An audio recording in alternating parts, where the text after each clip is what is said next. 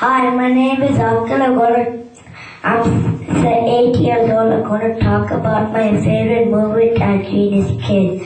My favorite movie at Genius Kids is playing the beanbag game, playing the beanbag game and four corners because we're having fun. My next favorite thing is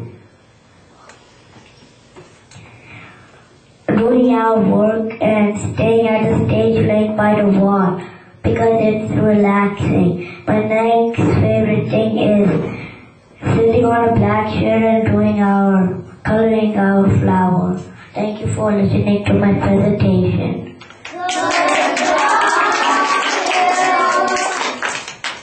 Thank you, Frank.